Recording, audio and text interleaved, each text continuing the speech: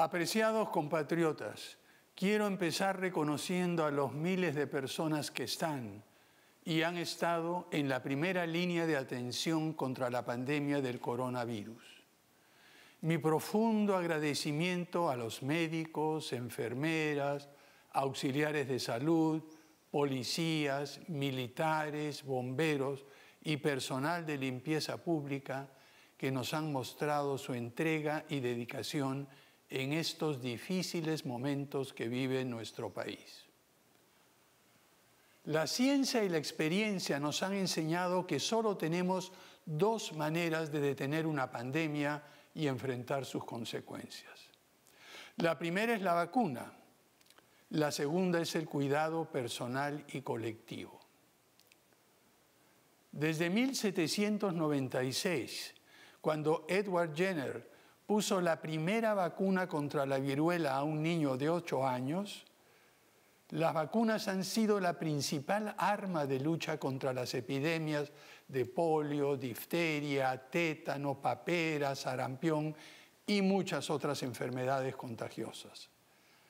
Las vacunas son el escudo más efectivo para defendernos de todas estas enfermedades. Hoy, después de un gran esfuerzo de la comunidad científica internacional, tenemos a nuestra disposición vacunas para enfrentar al COVID-19. Como anunció la Presidenta del Consejo de Ministros, el 9 de febrero estaremos recibiendo el primer lote de un millón de vacunas de Sinopharm, que nos permitirá vacunar al personal de salud que nos cuida lote que forma parte de un acuerdo para suministrarnos hasta 38 millones de dosis. Les informo además que hemos hecho gestiones para que la COVAX Facility, el acuerdo internacional que distribuye diferentes tipos de vacuna a los países en desarrollo, nos adelante una entrega de vacunas, muy probablemente de Pfizer y de AstraZeneca, durante el primer trimestre de este año. Por otra parte, estamos en las etapas finales de la negociación con Pfizer para el suministro de 9.9 millones de dosis de vacunas. Asimismo, como informé anteriormente, ya firmamos el contrato con AstraZeneca por 14 millones de dosis que estarán disponibles a partir de septiembre de este año. Finalmente, estamos avanzando también en las negociaciones con Johnson Johnson, Moderna y Gamaleya.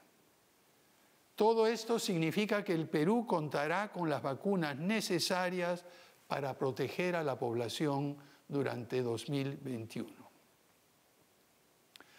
La segunda manera de contener la pandemia es el cuidado personal y colectivo. Sabemos que es esencial usar bien las mascarillas, cubriendo la nariz y la boca, guardar la distancia física, lavarnos las manos frecuentemente y permanecer en espacios ventilados.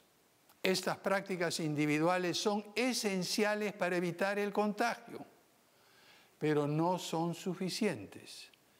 Debemos evitar salir de nuestros hogares, eliminando cualquier desplazamiento que no sea absolutamente necesario, ya que la proximidad con otras personas es la principal causa de contagio, particularmente cuando se producen aglomeraciones y no se respetan las medidas de cuidado personal. Para cuidar a todas las peruanas y peruanos, hemos dispuesto medidas de protección que limitan los desplazamientos fuera del hogar desde hoy hasta el 14 de febrero. Esta cuarentena, que empezó a medianoche, es diferente a la que se adoptó el año pasado. En primer lugar, fue anunciada con cuatro días de anticipación para permitir a la población prepararse y particularmente a quienes querían retornar a sus lugares de origen. En segundo lugar, es focalizada y abarca a 10 de las 26 regiones de nuestro país.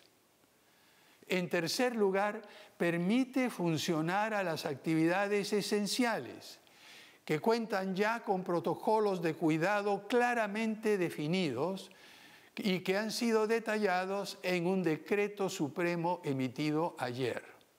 Y por último, en cuarto lugar, atiende también a la salud física y mental de las personas, permitiendo compras de abastecimientos indispensables, asistir a consultas o tratamientos médicos y salir de su casa por una hora diaria para caminar y ejercitarse. Aún así, la reducción de la actividad económica que implica esta cuarentena disminuirá el crecimiento de manera efectiva. Para compensar, al menos parcialmente, a quienes se verán más afectados por la cuarentena, el gobierno distribuirá un bono de 600 soles a 4.2 millones de hogares. Entregará apoyo alimentario a los comedores populares y ollas comunes. Continuará con el programa Taita de apoyo a las familias más vulnerables y ha adoptado medidas de apoyo tributario para personas y empresas. Las prioridades centrales del gobierno de transición emergencia son la vida y la salud. Sin ellas no tenemos nada. Concentraremos nuestros esfuerzos para dejar en unos pocos meses más a nuestro país en la mejor condición posible, a pesar de nuestras carencias y limitaciones. Sé que estamos fatigados y angustiados además del luto de muchas familias que han perdido a sus seres queridos, arrebatados por el coronavirus, muchos han perdido el trabajo y las maneras de ganarse la vida. Hemos perdido también la libertad de abrazarnos, de darnos la mano, de visitar a nuestros amigos y familiares. Es difícil, lo reconozco pero todos debemos hacer un esfuerzo adicional para contener la ola creciente de contagios y de muertes. Las vacunas y las medidas de contención solo funcionará si todos colaboramos y apuntamos en la misma dirección. Seamos todos parte de este gran esfuerzo nacional por superar la crisis de la pandemia del COVID-19. Pero en medio de las dificultades que nos crea la pandemia, también somos testigos de innumerables y generosos, generosos actos de desprendimiento y solidaridad. Vemos a las madres que colaboran con las ollas comunes, los comedores populares y en organizaciones comunitarias. La entrega de voluntarios que demuestran día a día su vocación de servicio, trabajando con personas vulnerables el compromiso de los trabajadores de salud, quienes día a día exponen sus vidas para salvar las vidas de los otros, y de las comunidades de fe que han aliviado el sufrimiento y el dolor de muchísimas personas afectadas por las tragedias que ha causado la pandemia. También hemos visto la generosa y efectiva participación de las empresas privadas que han aportado recursos, experiencias y capacidad de gestión para organizarnos mejor y resistir los embates de la pandemia y a superar sus efectos. De los colegios profesionales, gremios y expertos que apoyan con conocimiento y sugerencias para la acción. De las distintas iglesias y agrupaciones religiosas que apoyan a la comunidad.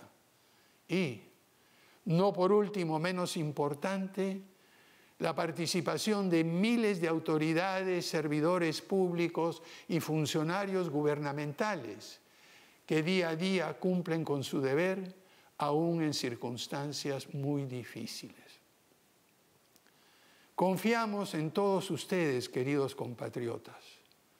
Trabajemos juntos para superar la peor crisis de salud y económica en más de un siglo. Así como nosotros confiamos en el compromiso y la buena voluntad de ustedes, tengan la absoluta confianza, la seguridad en que desde el gobierno estamos actuando con honestidad, diciendo la verdad, haciendo nuestro mejor esfuerzo y trabajando sin descanso, poniendo todo lo que tenemos al servicio de ustedes, al servicio de nuestro querido Perú, que pronto cumplirá 200 años de vida independiente. Muchas gracias a todos y a todas.